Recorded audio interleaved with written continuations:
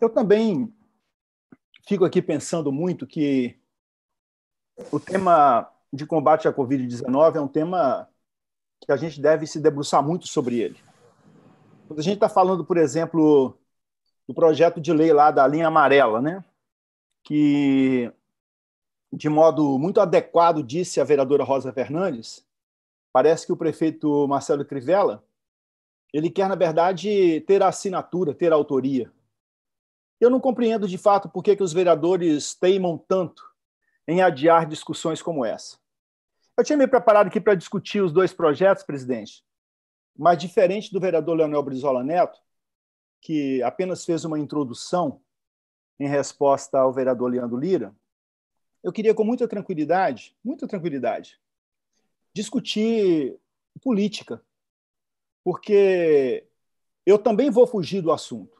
Não estava pretendendo fazê-lo, mas também vou fugir do assunto. E dizer que, assim, com muita clareza, eu sempre tive muita noção do chão que eu piso. E no chão que eu piso, esse chão não é um chão muito retilíneo, muito enceradinho. Esse chão que eu piso é feito de homens e de mulheres que acertam e erram. Eu não tenho dúvida que o Partido dos Trabalhadores, de fato, teve equívocos, teve erros. Mas é preciso lembrar, porque o vereador Leandro Lira, assim, parece que comprou carteira de advogado para defender o governo Bolsonaro. E assim, não mede esforços para isso. E fica uma coisa deselegante, porque toda hora parece um vereador de uma nota só. O vereador só sabe falar disso.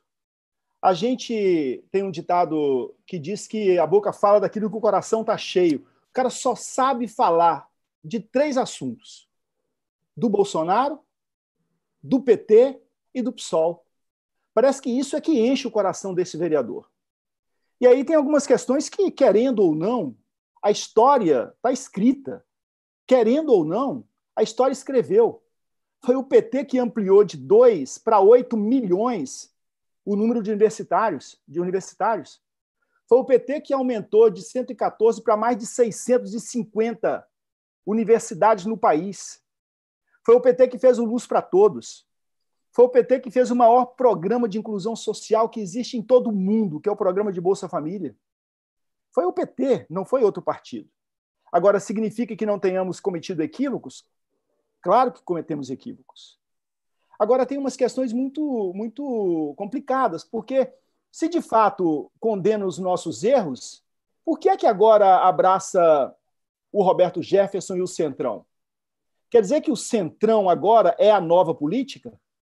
Roberto Jefferson agora é o paladino da moralidade? É o arauto da moralidade? É bom a gente lembrar de algumas coisas. O Moro agora, quem é o Moro? O Moro é inimigo? O Moro é traidor? É muito interessante a gente pensar em algumas coisas, né? Pensar, por exemplo, né, resposta que ainda não teve. Você sabe, vereador, quem é que mandou matar Marielle? Você sabe onde é que está o Queiroz? São perguntas básicas que estão na cabeça do povo. Você perguntou sobre os estádios, eu estou perguntando de coisas mais práticas. Talvez eu não saiba te responder com precisão a questão dos estádios, embora possa te responder também. Mas tem perguntas mais simples, né? Quem é que pagou a conta do Queiroz lá no Albert Einstein? E a rachadinha do filho do presidente?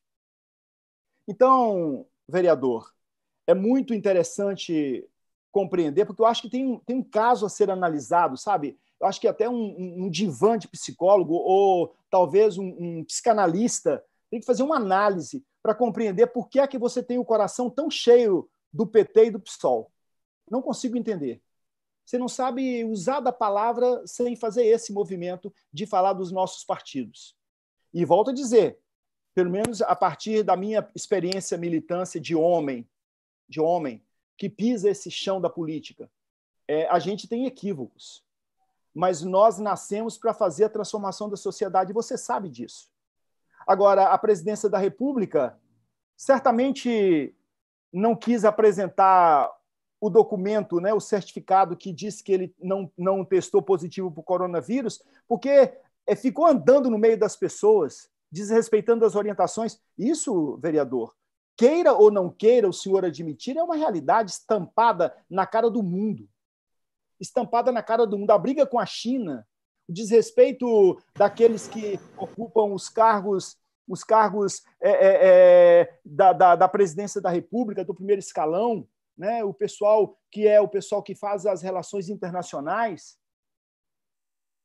o descaso com, com, com a, a, as negociações com um país como a China, os arrobos dos filhos do presidente. Uma pergunta simples: nos oito anos do governo do presidente Lula, os filhos do Lula ocuparam que espaços? A esposa do Lula ocupou que espaço? Mas nós temos aqui um vereador que é um vereador deputado federal, seu companheiro, seu ídolo. Então, assim, é preciso a gente dizer com clareza isso. Eu sou do Partido dos Trabalhadores e não tenho problema com isso, não. Você é do novo, ou melhor, acho que não é do novo mais, agora acho que está no, no partido do prefeito, foi atrás do filho do Bolsonaro. É direito seu, companheiro. Você é de extrema direita, é direito seu, vai em frente, vai em frente. Mas proponha. Não venha apenas atacar, proponha. Agora, a presidência da República, nós dissemos que o governo é genocida, é porque a gente está convencido disso. Se você não está convencido, continua seguindo. Nós estamos convencidos de que o governo federal é um governo genocida. Um presidente que hastia e que balança a bandeira dos Estados Unidos que entrega o patrimônio e a nossa autonomia, a nossa soberania às mãos de Trump. Vereador, Nós seu tempo está encerrado. Então, presidente, para encerrar, eu quero aqui fazer coro, fazer coro às lutas daqueles e daquelas que querem construir uma sociedade melhor. E é por isso que eu sou do Partido dos Trabalhadores. E ao vereador Leandro Lira, nem tente, porque se quiser se filiar ao PT, nós não deixaremos.